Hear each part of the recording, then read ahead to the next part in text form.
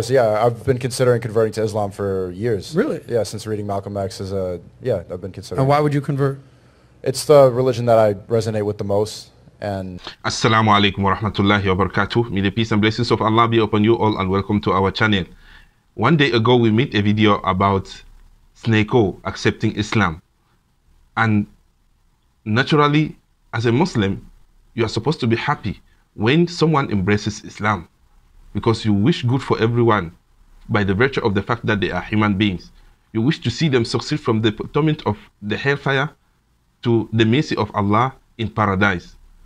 And that was the case actually. But still yet, there are some recalcitrant fellows who rather doubles as doubting Thomases, or maybe we can say enemies of Islam, who went back and dig into his past history about some derogatory comments that he made about Islam. Yeah.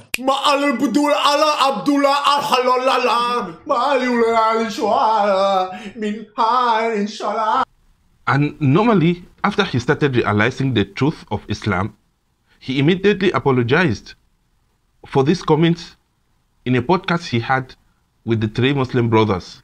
To these doubting Thomases, we would like to remind them the story of Osama ibn Zayd, the most beloved person to the Prophet sallallahu alaihi wasallam. They went to a battlefield, and when he came face to face with the enemy, the enemy hurriedly pronounced the kalima shahada.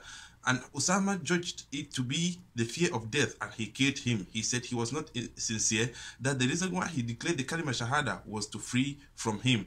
And when they came back, they told the Prophet what happened, and the Prophet got so angry and he asked him repeatedly, Did you really kill him after he pronounced the kalima shahada? It's a warning to those who, to those people who go around judging the intentions of people who convert to Islam. Do not repeat the same mistake that was made by Osama radiallahu anhu. He had also reported that when he made the comment, he received many threats in his DM from Muslims threatening him for making such comments. A lot of Ahmeds and Mohammeds are in my DMs, um, and they're they're very. They're, I'm getting a lot of death threats personally. Um, It's normal for such things to happen, and it's been happening, and it happens during the time of the Prophet sallallahu alaihi wasallam. And those who took it the hard way, the Sahabas who took it the hard way, the Prophet stopped them from doing that, which is supposed to serve as a lesson for us, the Muslims, that we have to treat those who come attacking Islam or those who do not know about Islam the same way the Prophet did. Not the same way the, Pro- the, the Sahabas did, but the Prophet stopped them. If we talk about uh, going back to, to dig out his history and the things he said before Islam, we want to remind ourselves and the Muslims of the hadith of the Prophet that says, Al Islam qablahu. Islam wipes away everything that happened before it. Actually, bringing such a video up is on the advantage of Islam. It's a clear proof of the fact that Islam is more than any other person else. Remember a person who yesterday was making mockery and against Islam.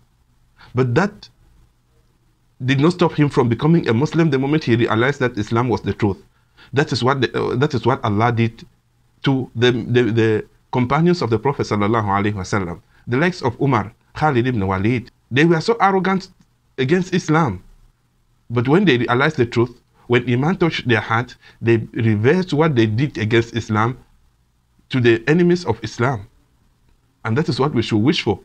For people who embrace Islam, especially people who are this famous, that the way they make jokes about Islam, that's how they will make da'wah for Islam. We will leave it here for today and we will plead with you to not go away without subscribing.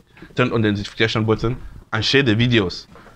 The same way we will invite those who are still sitting on the fence and they paint a funny picture of Islam in their mind and they don't want to come closer and understand what Islam is. Islam is open. We are open. Bring your questions, bring your arguments. Let's prove to you that Islam is the best. And we ask Allah to guide you thereafter. Wassalamu alaikum.